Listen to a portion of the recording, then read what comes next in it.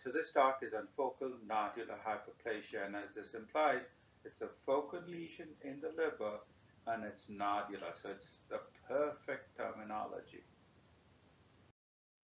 So how did you get here? You decided, one, it was benign, and there's a talk that helps you distinguish between benign and malignant liver lesions. And once you decide it's benign, you have two main choices. It could be either focal nodular hyperplasia or hepatic adenoma. And fortunately or unfortunately, you must make the distinction between these two because focal nodular hyperplasia is often not resected and hepatic adenoma, some are resected, some aren't. It depends on the type and depends on the size. It depends on the surgeon. But that choice is left to the patient and the surgeon. You need to make the distinction between FNH and hepatic adenoma. And if you don't, your surgeon is going to be knocking at your door. Oh my gosh, this is the most perfect gross example of focal nodular hyperplasia. And only if, if you've been good will you ever receive an example as good as this. If you have said your prayers at night, and I'm only kidding. So what do you see? You see a central scar surrounded by this nodular looking liver. So out of context, this really does look like cirrhosis, doesn't it? The other thing I must emphasize to you is that this is a lesion of young women. So do not go about making this diagnosis in older males. More often than not, you'll be wrong. The other thing to remember is occasionally these are multiple. So you'll see multiple lesions within a liver. Again, typically in young women. Remember that, young women. So very low power appearance of FNH. Notice the central scar. Remember, if you have a very small lesion, you may not see a scar at all. The scar is surrounded by nodules, these regenerative nodules surrounded by fibrosis. And again, it does look like cirrhosis. Now, occasionally you'll see these dilated sinusoids.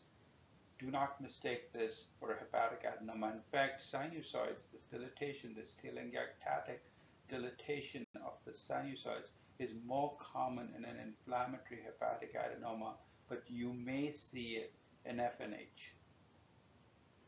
Here's another very typical feature of FNH. Within that central scar, you will see these abnormally large ectatic vessels.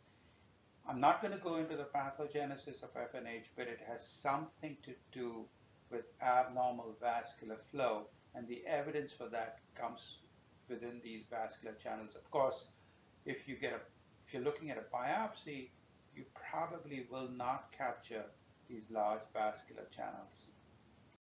Another very characteristic feature is bile ductular proliferation, this crazy bile ductular proliferation, typically in the septa between those cirrhotic appearing nodules. And here you go.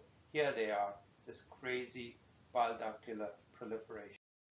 So the go-to state for a diagnosis of FNH is glutamine synthetase. Now, you've got to know what the glutamine synthetase stain looks like in the normal liver. In the normal liver, it'll stain the first four or five layers just outside the central vein. However, it will not stain the stuff around the portal tract. This is what FNH looks like on a glutamine synthetase stain.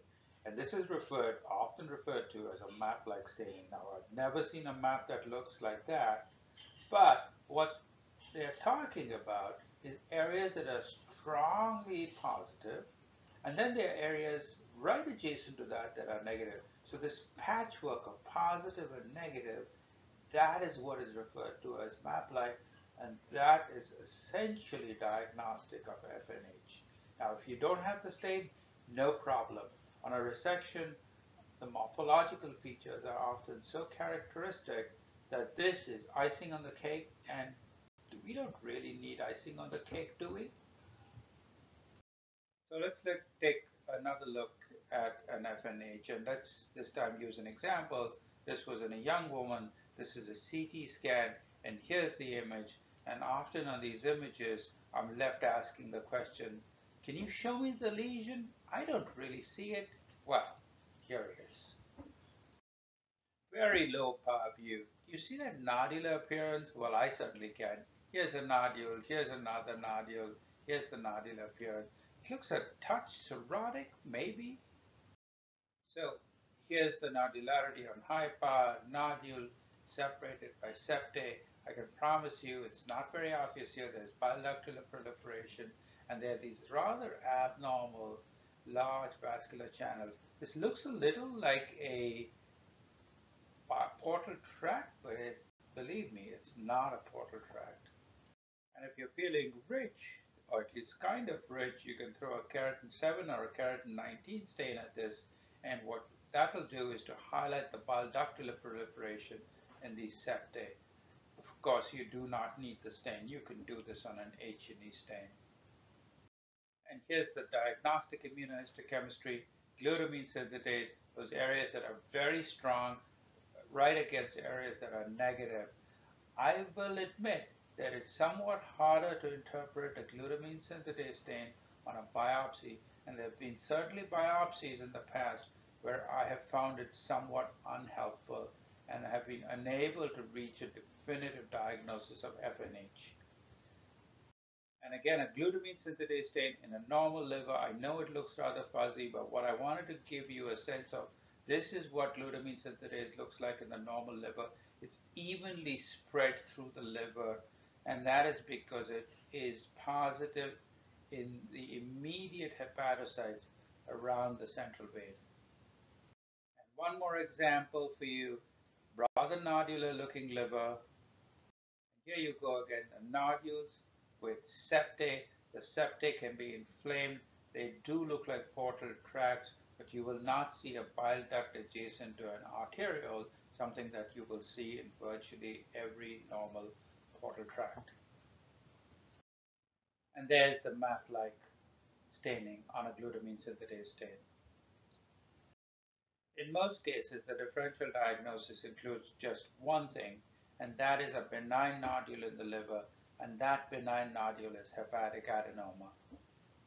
And in reality, it's not any old hepatic adenoma, it is specifically inflammatory type adenoma. And I'll tell you why the two of these lesions can look very, very similar. Inflammatory hepatic adenomas can show portal tract-like structures. So you can see where I'm going. So this is an inflammatory adenoma. This is a portal tract-like structure. Notice the arteriole, this bile ductular proliferation, and this inflammatory activity. And to add to that, an inflammatory adenoma may show this patchy sort of glutamine synthetase staining. Now, if you're stuck and you can't tell the difference between the two, your go-to stain would be SAA or serum amyloid A, and you'll notice here that the adenoma is strongly and diffusely positive for SAA, and there's only focal reactivity in the normal liver. If you don't have the stain, send it across to me and I'll work it out. That said, I will admit that the SAA stain is somewhat of a tricky stain to perform. So it works in most cases, but may not work in all the cases.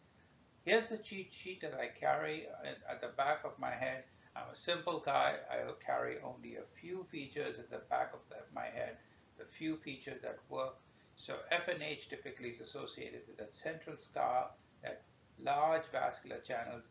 Of course, on a biopsy, you you may see neither of these, and so you're very much dependent, if the morphologic features are not characteristic, to make the distinction between the two, you are dependent on immunohistochemistry. And the one thing you, I'd like you to remember at the end of this talk, if you don't remember anything else, it is the presence of a map-like staining on glutamine synthetase that is characteristic of focal nodular hyperplasia. And as always, thank you for listening. I do appreciate your support. Thank you and good night.